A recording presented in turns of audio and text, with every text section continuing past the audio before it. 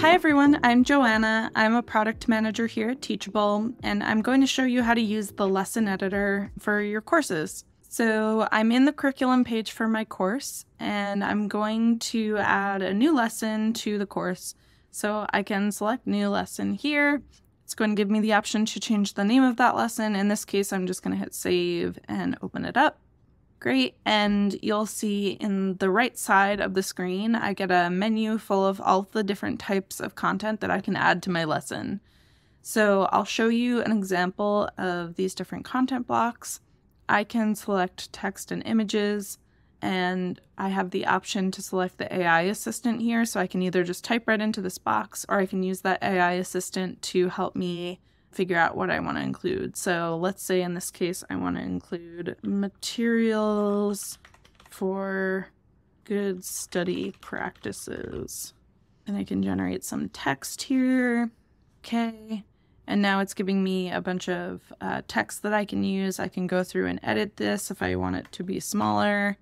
And then I can also add images here. So let's say I want to have an image of a notebook. Great upload. Now I've got that image here and I'm going to hit save. And now that text and image block is showing up in my lesson. If I want to preview what that looks like, I just hit the preview button. Now I can see what it looks like in my actual course. And then if I want to go back, I'll hit edit and admin. And now let's say I want to add some additional content here. I can add content, just click that button at the bottom, and then I can select a different item here. If I want to add video, I can do that. I can also embed a video. So if I have a video from Vimeo or YouTube that I want to include, I can add that here. Let's just say in this case, I want to upload a video. It's just a screen recording I took earlier today, but for an example, this will work. Great. And now that video is just going to take a little bit to get set up. While that video is processing, I can also add settings. So I can upload a thumbnail if I want. I can add subtitles. So I can auto-generate subtitles in different languages. Let's say I want to add sub subtitles in English. I can do that. I'm just going to have to wait until the video is done processing. And then I can choose whether or not I want my students to be able to download that link as well. So in addition to videos, I can also add PDFs. Let me just show you what that looks like. PDF here. Great. That's going to show up in a PDF viewer. I can also choose to download, to make that downloadable or not. Okay, so I can also add other types of content like audio, show you what that looks like. Here's an example. That's going to show up in an audio player. I can add banner images, resources, which will just be files that the user can then download. I can add a code example. Let me show you what that would look like.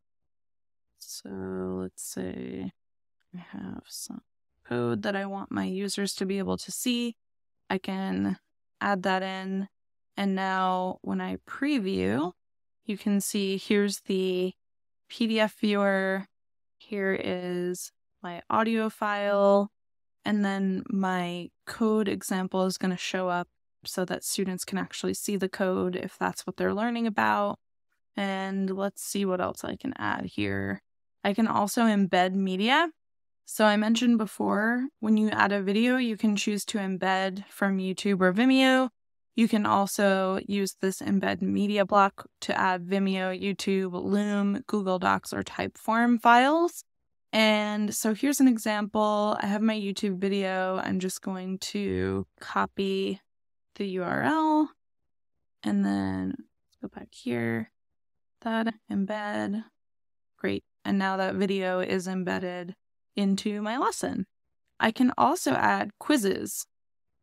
So quizzes I can add manually. I can say, what is the answer two, four, one, and then I'm going to select a correct answer and then hit save.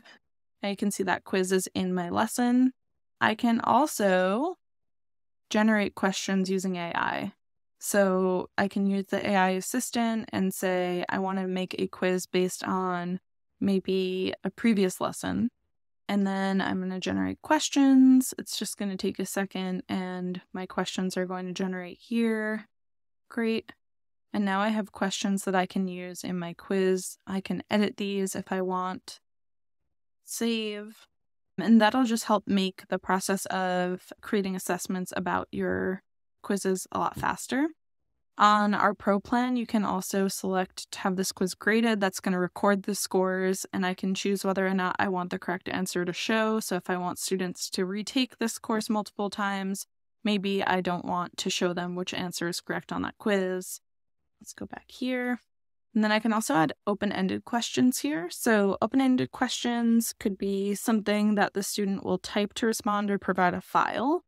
So I can say something like, How did you like module one of the course? If I want to get feedback, I can have this be a required question, and I can also allow students to upload a file.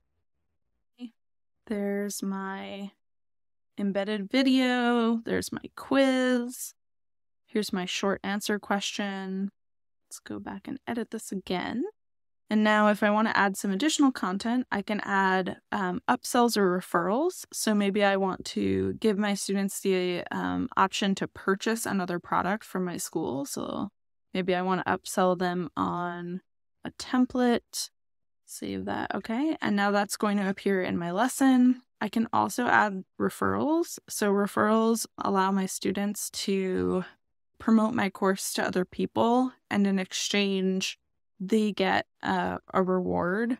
They're single use discounts that can be used towards another purchase. So I could say if they refer users to my school, that they can get a, a coupon for a specific percentage back.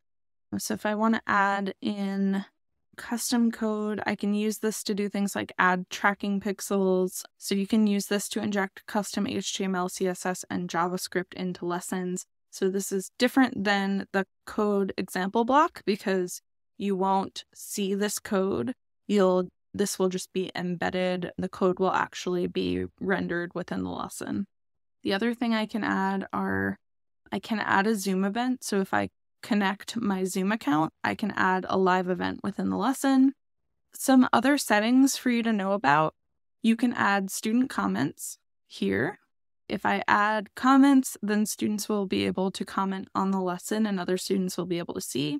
I can also choose to make this a public preview, which means that anybody who has the link can then open and see the lesson. So this might be something you want to do for the first lesson in your course so that students who are thinking about buying it can have a chance to see what the experience is looking at a lesson. You can also turn this off. And when I'm all done and I'm happy with my lesson, I'm going to hit publish. And now I'm going to preview. And again, I can see all of the content that I've added in here. I can see my upsell there. I can see comments. I can leave a comment. Great. And that's pretty much all you need to know about the lesson editor. If you ever want to get rid of a lesson, you can just scroll down to the bottom and delete it. Just be sure that if you delete a lesson, you aren't able to get it back. And when you're satisfied with your lesson, you can go back to your curriculum. You can go and edit other lessons, or you could add another new lesson. Okay, I hope this is helpful. Have a great day.